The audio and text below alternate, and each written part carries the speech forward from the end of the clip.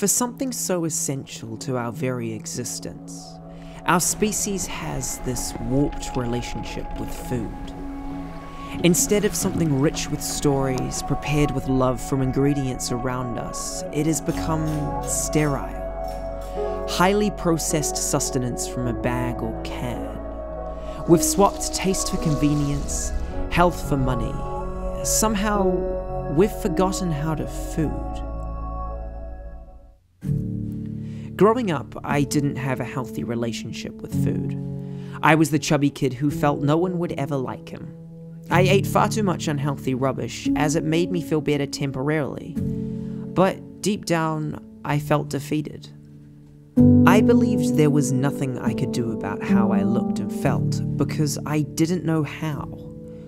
While I loved food, I didn't really have an idea of what a healthy diet was.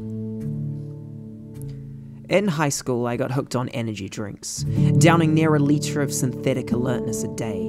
It became my worst habit, and I began to rely on them to concentrate in class. And like my energy levels, my weight shot up.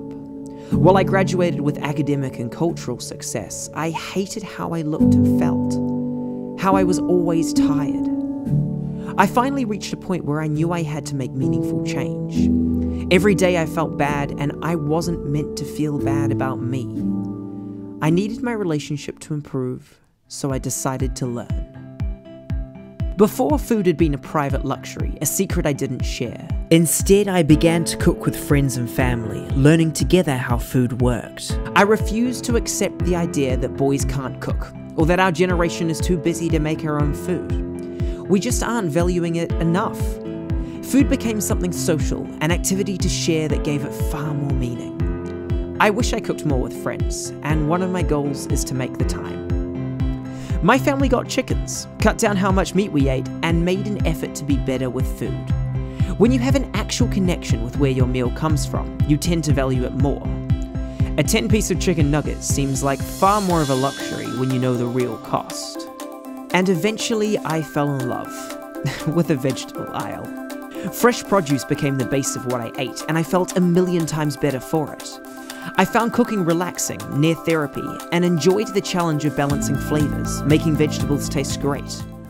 And slowly, as I learnt to love real food, I learnt to love myself. I didn't have to be the fat kid without a clue, I just needed to learn how to food. I don't think I'll ever know everything, but that's the beauty of love. What does food mean to you?